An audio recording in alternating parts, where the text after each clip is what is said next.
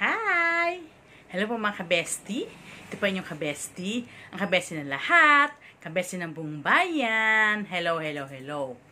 So ngayon mga kabesti, sa totoo lang po, um, wala naman talaga akong plano na mag-upload ng videos today. Ah, biglaan lang to. Kasi, um, may nag-request sa akin na gumawa ako ng uh, ice cream, homemade ice cream na different flavors. Na-request sa akin ng college friends ko. Actually, uh, tinawagan pa niya ako sa messenger para um, magturo daw ako ng um, Rocky Road Double Dutch saka ng avocado ice cream na homemade. Kasi, um, gagamitin daw niya. Sabi niya parang meron silang um, gathering. So, yun daw yung kanyang i- ano, iya, iaambag. So, ngayon, ah, ngaragan lola mo, nagmadali, nagising ng maaga, namili, at ah, gumawa ng ice cream. Siyempre, binidyo ko rin. So, ngayon, ayan, ayan ang ano. Kaya, last minute din na nagsabi ako sa Team Academy na ah, meron akong premiere, kung pwede ako ng 7 o'clock. Last minute yon Ah, kasi hindi ko akalain na ah, makakapag-premiere ako bukas. Kasi plano ko talaga hindi na muna. Eh kaso may nag-request sa akin. Kaya ginawa naman natin syempre para um, hindi naman syempre um, yung kaibigan ko na sabihin na hindi ko uh, sinunod yung kanya request.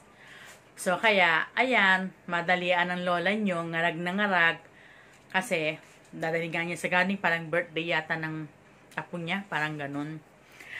So, siya nga pala mga ka-bestie, bago tayo magpunta sa kitchen, uh, nais ko muna magpasalamat kay Madam I, I am Prince dahil um, pinayagan niya ako na makapag-premiere sa Wednesday.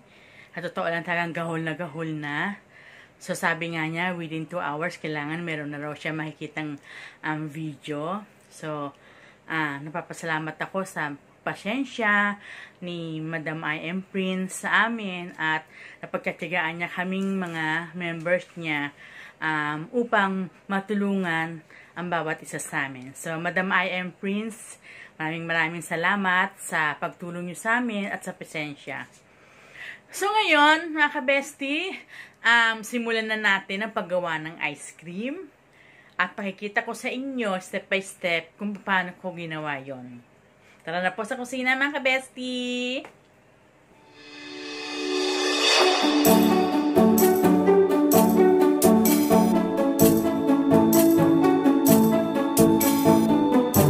Sa mga ka-bestie, gagawa tayo ng Rocky Road ice cream. Ang mga sangkap ay ang marshmallow, peanuts, Nestle cream chilled, at chocolate condensed milk chilled. So, ngayon, simulan na natin.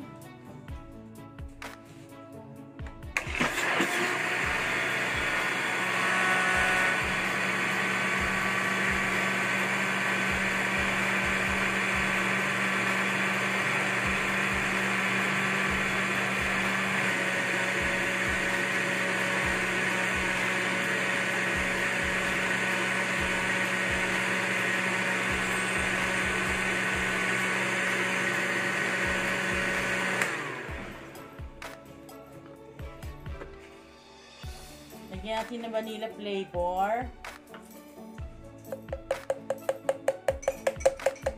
Dinaid ko na mga kabesti. Sayang naman kung maiiwan pa yung konti.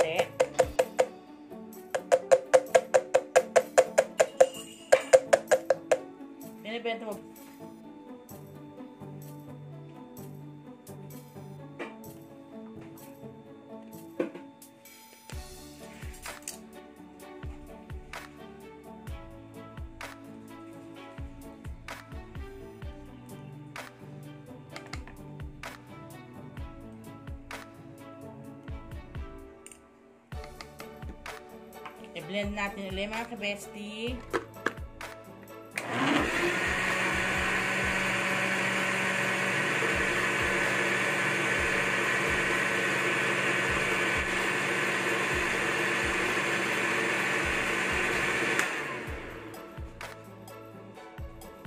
Lagyan natin ng condensed chocolate flavor, mga ka-bestie. Mamaya natin usap pa. Record yung sabihin.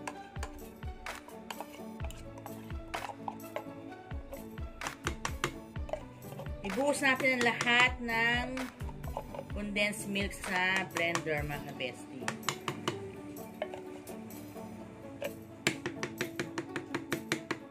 Sairin natin. Sayang.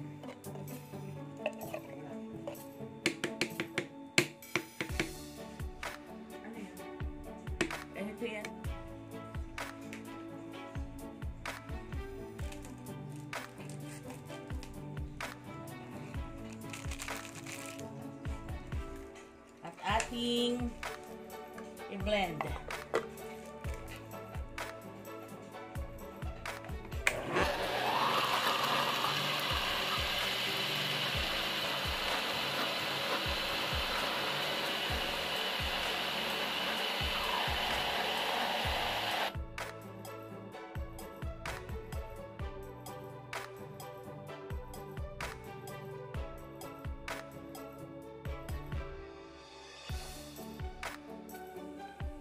Alam natin yung mga kabesi pa ba pag-incorporate yung chocolate at Nestle cream.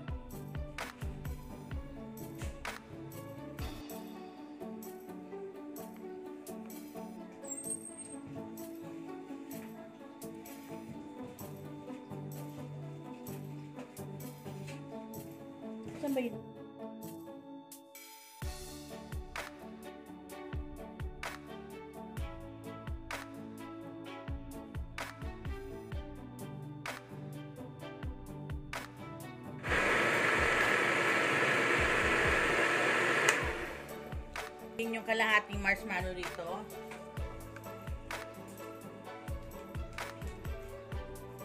At saka natin siya haluin.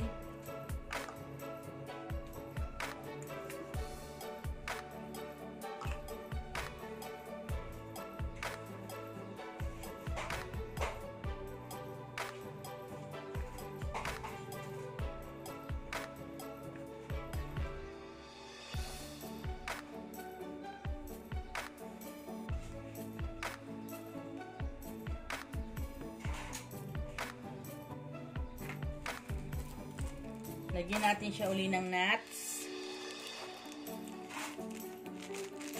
Hindi natin ito i-blend mga kabesi. Haluin na lang natin.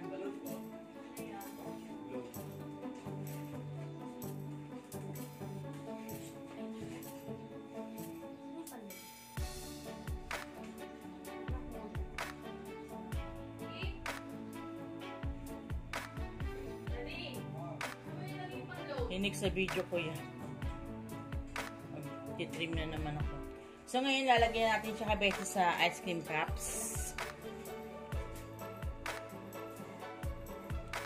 Salin na natin siya sa ice cream cups, mga kabesti.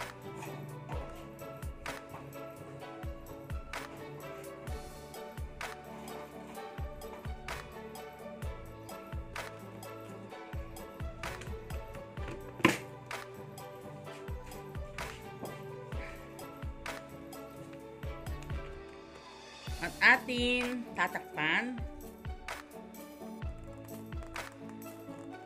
Yun yan po ang gagawin natin mga kabesti. And chill for at least 8 hours.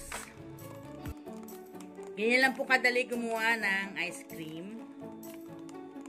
Pero mga kabesti, kung meron kayong ano, um, hand mixer, mas maganda. Mas do-double pa kasi dyan yung magagawa yung ice cream at mas do-double rin yung inyong kita.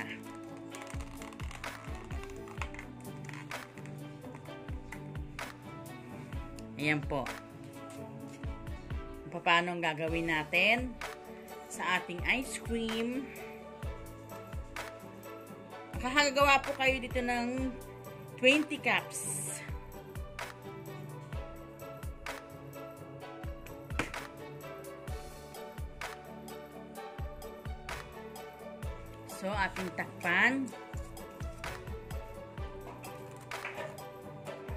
Yan. Ganyan lang po mga kabesti. Mamaya, Dash, double dutch naman yung ating gagawin. Pakikita ko sa inyo paano natin gagawin. Kung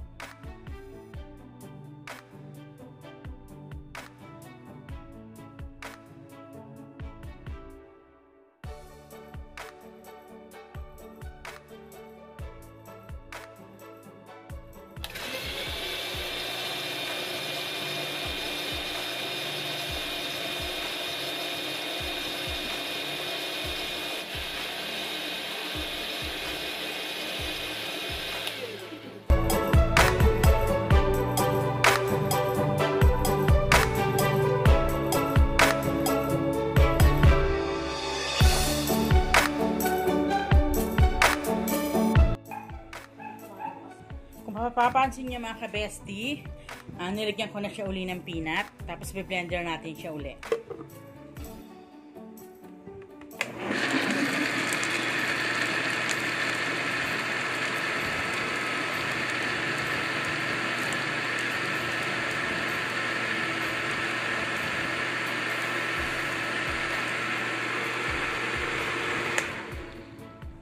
Kung makikita niyo yung ka-bestie, sinaling ko dito. I-fold natin. Hindi natin lalagyan siya ng ng halong-halong na may chocolate. May portion lang kasi double dutch po yan.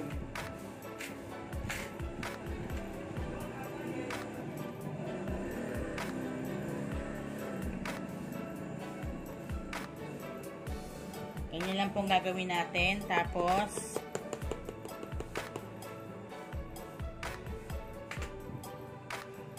Malaki yung pinaglagyan ko mga ka-bestie. Order yan, order.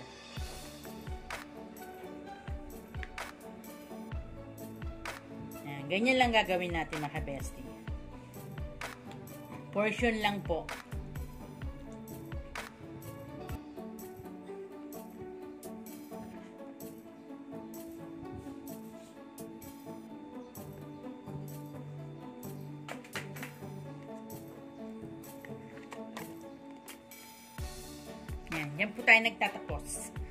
Mga ka-bestie.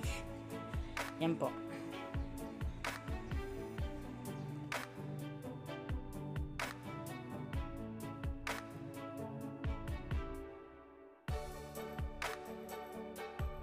So mga kabesi, gagawa tayo ng homemade avocado ice cream.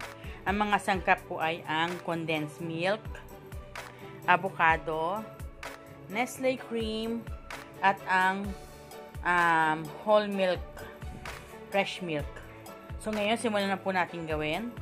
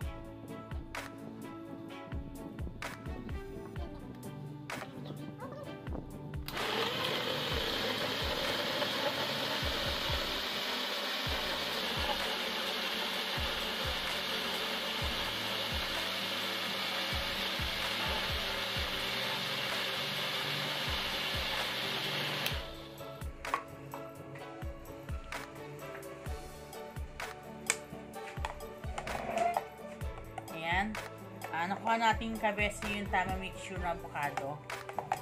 Ganito lang po kalapot. Kita ba? Ganito lang po kalapot mga kabesti.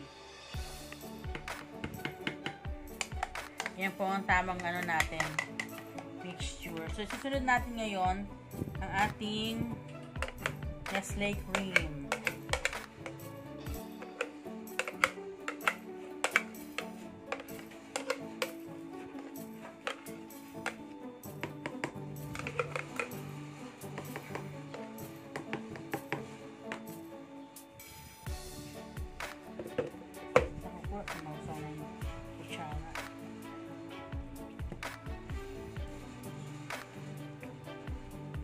So, i-blend natin yung ating Nestle cream, mga kabesti.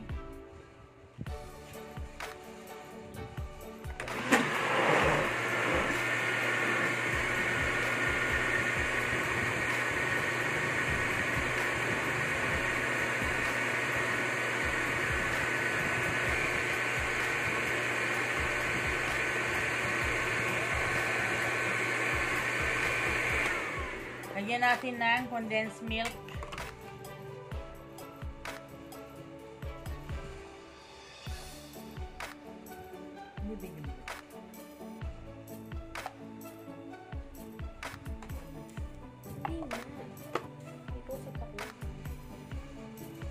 So, i-blend natin na kasama yung gatas sa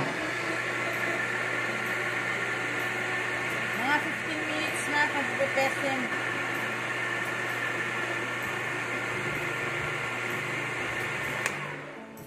Saka natin ilagay yung avocado natin na shinake kanina.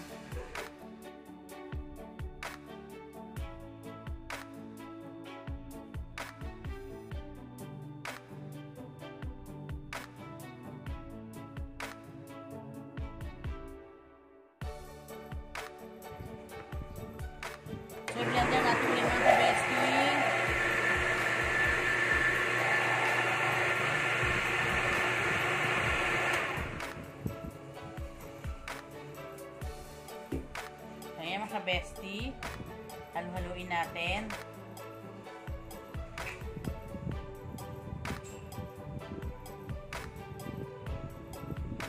Uli.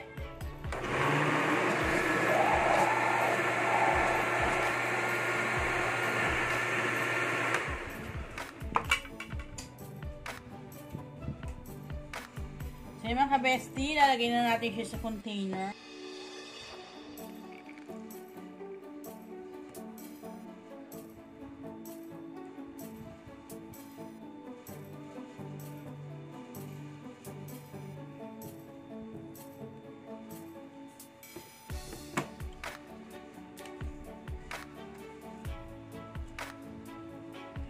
Ito na po. Nilagay na po natin sa isang tab mga kabesti. So, hindi ko na siya nilagyan ng ng buong avocado. Hmm, ayan po.